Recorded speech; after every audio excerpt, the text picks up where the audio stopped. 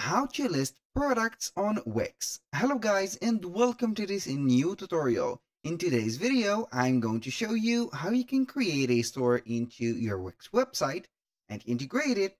Also how you can list some products or items. So it is very easy and very simple. All you need to do is to follow up the tutorial from the beginning till the end and you are going to be good to go. The first thing that you need to do is to head over wix.com then you are going simply right there to sign in on the platform. So as you can see, we are on the site's dashboard. Here we have the list of the website that we have already created. So I'm going to visit or choose one of the website that I have. Then we are going to set up the store for it. So I'm going to click on select and edit site. But before that, if you don't have a website yet, or you don't want to apply the changes or the store into one of these websites, you're going to click on create new site and proceed with the new website here uh, from the Wix editor. Now I'm going to head over the website dashboard. It will load up here the control panel of the website. And from here, you're going to see here the items or the menu items of your control center. Now, make sure that you have added the payment method and the shipping profiles if you are going to here set up some digital or physical products. Now, we are going to click on design site and this is the uh, website that we have. Usually it will take a little bit of time right there when you click on this button to load up all the elements from your website, but I have, as you can see, preloaded everything. Now, once you are here, as you can see, we have the uh, Wix store added. I am going simply right there to let you see how we can integrate a store or a shop. So we are going to click on the plus element right there, add element on the left side of this menu, or you can go ahead and click on add apps. From here, you're going to click on there then you are going to see a mega menu that contains all the elements that could be added to your website. Simply, you're going to head over store right there under the blog.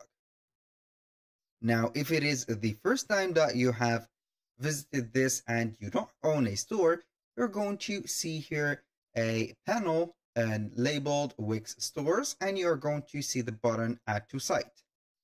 So I'm going to let you see that on the uh, Wix App Market. We are going to visit Wix App Market. I'm going to let you see here the logo of the uh, stores. Stores.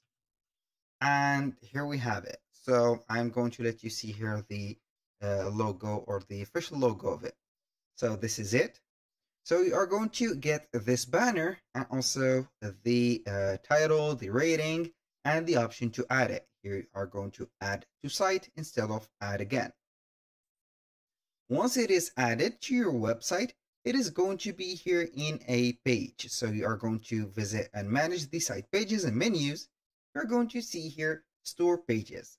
So you are going to see here a home page, a product page, a cart page, and a thank you page. So right there, I'm going to visit the product page. We're going to see the products or the listed products that we have on our store. I'm going to exit that. And here we are going to see the uh, product page or the landing page of the product. You can go ahead and select the product from here by clicking on the drop down menu and preview here your product. You can see that we have everything set up, uh, but a little bit buggy so it doesn't matter how we can add a uh, product here. So we are going to head over the Wix dashboard again.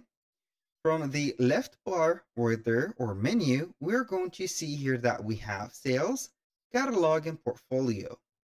These three items are above each other. So we're going to select here catalog and we're going to have here a uh, glance to the store product we're going to see all of the listed products. Some of them are fake, as you can see here, just for the demonstration, and some of them are real, like this one and that one.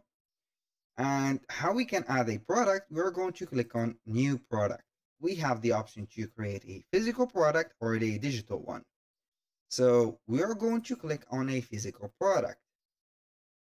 You are going simply right there to fill up the spaces or the required fields, like setting up the name. Do not forget to add images, also videos to your product to present it correctly. Add up here a description. You can add some uh, additional information like the specs and the quality or materials used. We have here the pricing, the uh, on sale option that you're going to set up for uh, marketing purposes. And here we have some custom text. For example, if you are going to add something that could be set up uh, or uh, like a, a, POD or print on demand uh, products. So you are going to uh, set up here a text box so the client will here put a description of they what they want.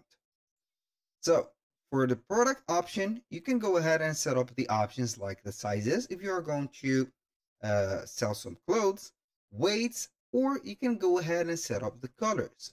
These are called the variations. Now, for the inventory, you can go ahead and keep the track of your inventory by setting up. Also, you can go ahead and set up a SKU code and a shipping weight. You can enable the pre-ordering process. Also, you can go ahead and create some subscription for that specific product.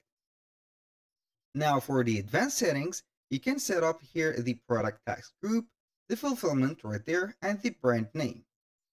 If you want to hire a professional right there to create or design the store product pages, you can go ahead and click on get started and hire up right there a professional. Now, don't forget to add the category for your products. Now, I'm going to cancel this step for this product. I'm going to let you see how we can add a digital product.